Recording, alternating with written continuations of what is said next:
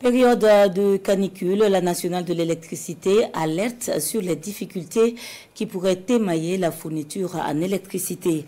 Un dispositif est déjà mis en place pour couvrir au mieux la demande selon les capacités de la Sonabel. C'est d'ailleurs le sujet des échanges qui se sont tenus ce matin entre la société et des journalistes ainsi qu'une vingtaine d'OSC partenaires. Siela Sinawatara et Maria Matamboura pour le point de cette rencontre. Une seule question fait l'objet d'échanges à cette rencontre. La gestion du système électrique au Burkina Faso en cette période de pointe. Face aux journalistes et aux OSC partenaires, le directeur général de la Sonabel présente la situation d'ensemble.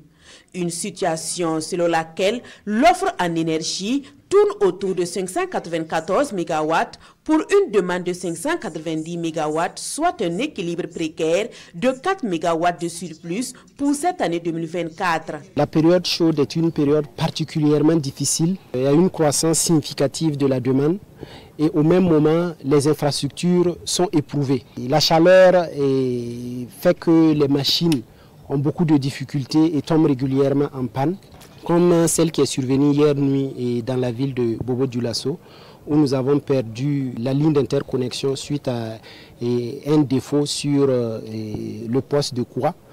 Donc euh, quand il y a des pannes comme ça, c'est difficile de pouvoir approvisionner correctement la clientèle. Des chiffres qui tiennent compte des éventuelles indisponibilités des groupes.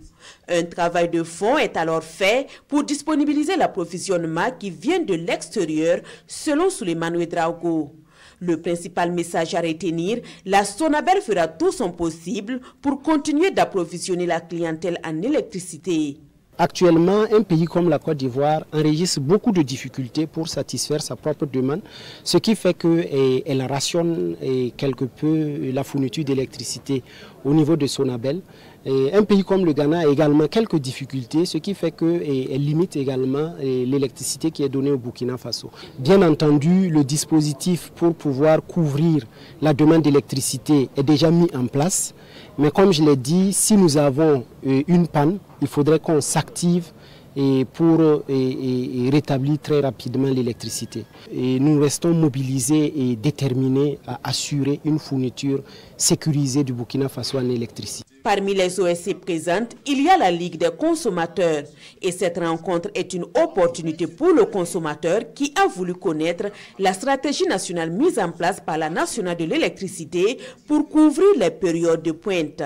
Dire que nous sommes satisfaits, nous pouvons dire à moitié. À moitié parce que euh, avant-hier et également hier, pour ce qui concerne euh, la zone de Bobo Dioulasso, il y a eu assez de ruptures d'électricité et nous le constatons au quotidien également des ruptures intempestives d'électricité.